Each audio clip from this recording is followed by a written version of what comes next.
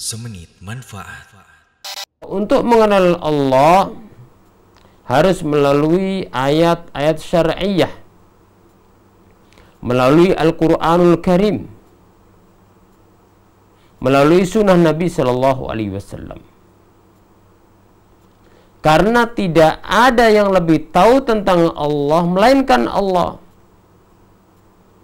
Maka cara seorang hamba untuk mengenal Allah bukan dengan jalur mimpi, bukan pula dengan ilmu hitung-hitungan mantra atau yang lainnya. Tapi untuk mengenal Allah seorang hamba hendaknya kembali kepada Allah, kepada firman-Nya. Karena tidak ada yang lebih tahu tentang Allah melainkan Allah Subhanahu wa taala.